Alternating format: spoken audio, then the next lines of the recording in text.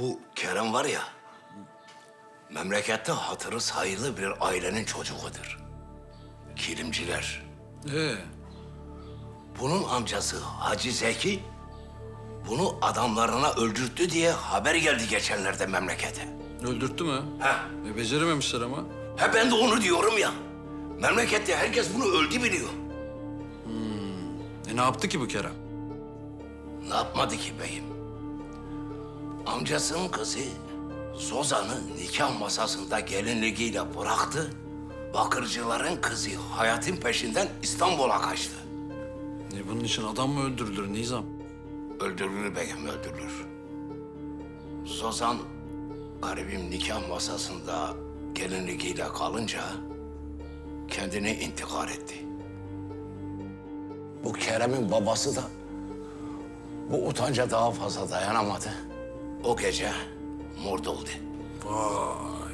Karabasan Kerem diyorsun ha? Ha, hay azgın öpeyim.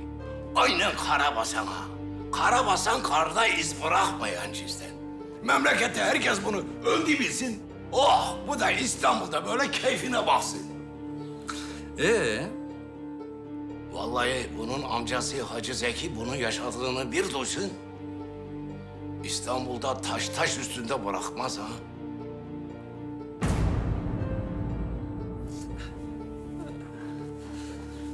Birinci çinko diyorsun yani Nizam. Yok, bakırcılar.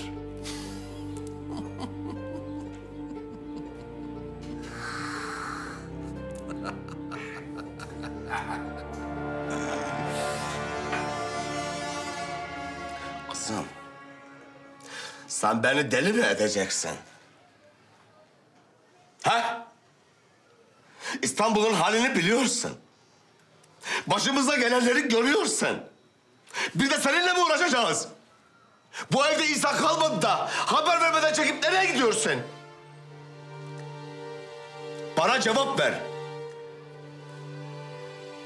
Şirin. Ben kime diyorum kızım? Cevap ver.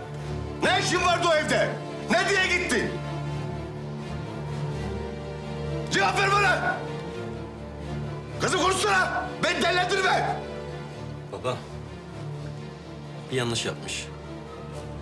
Telaş edilecek bir şey yok. Şebnem'in yanındaymış. Şebnem kimdir? Odana geç.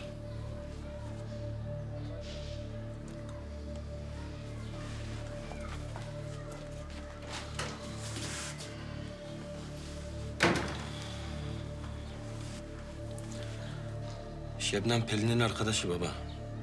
Ortada bir yanlış olsa senden önce ben çekerim kulağını merak etme. Sirac. Oğlum. Nerede görünmüş ha? Eski düzene yeni adet getiriyorlar. Olacak iş mi? İsmail Bakırcı'nın kızı haber vermeden çeksin gitsin başkalarının evinde yatsın kalksın. Nerede görülmüş?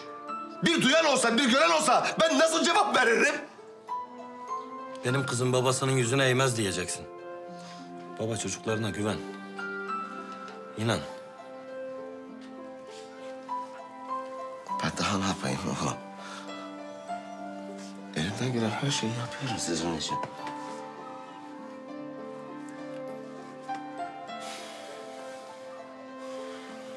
Babam.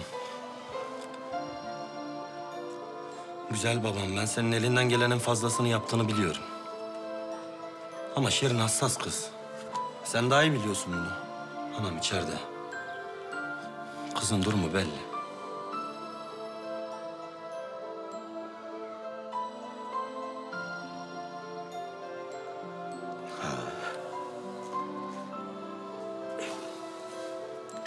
Haklısın oğlum.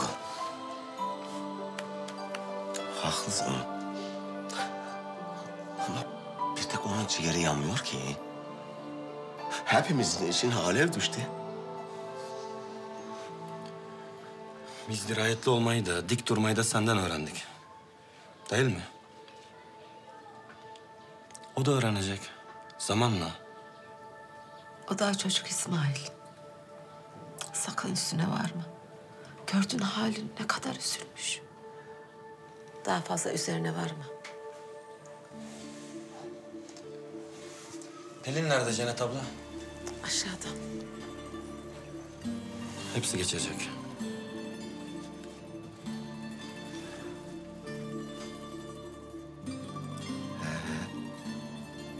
Geçecek.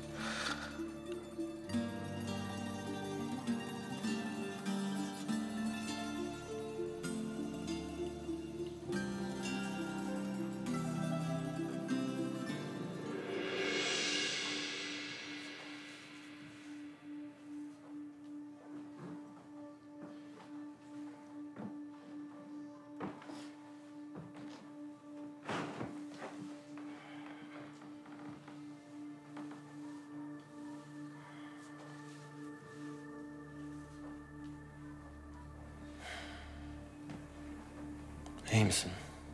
Nasıl iyi olayım Sıraç? Annem intihar etti. Babam beni kaçırdı. Bitti. Hepsi geçti. Pelin ben senin yanında olduğum sürece seni kimsenin üzmesine izin vermeyeceğim. Hep yanındayım. Kimsem kalmadı Sıraç. Annem yok. Babam yok. Ben senin her şeyin olurum. İstersen. Anan da olurum. Baban da olurum. Anladın mı? Ben nefes aldığım sürece ne sahipsizsin ne kimsesiz. Tamam.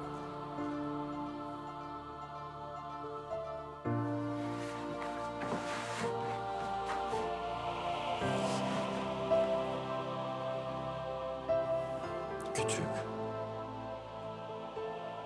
Ama o kadar güzel bir düğünle evleneceğiz ki.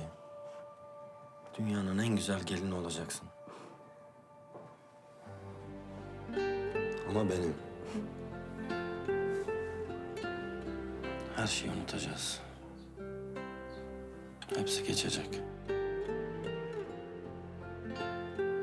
Bir tek sen ve ben. Küçük, bahçeli bir evimiz olacak. Bahçesinde çiçekler de olsun mu? Rengarenk hem de. Her sabah o rengarenk çiçeklerin kokusuyla günaydın diyeceğim sana. Merak etme. Söz ver bana. Söz ver bana Sıraç. Buna inanmaya çok ihtiyacım var.